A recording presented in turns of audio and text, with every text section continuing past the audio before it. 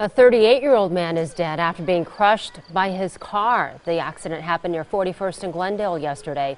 Police say the man was working on his car, but don't know what led up to it collapsing on top of him. 432.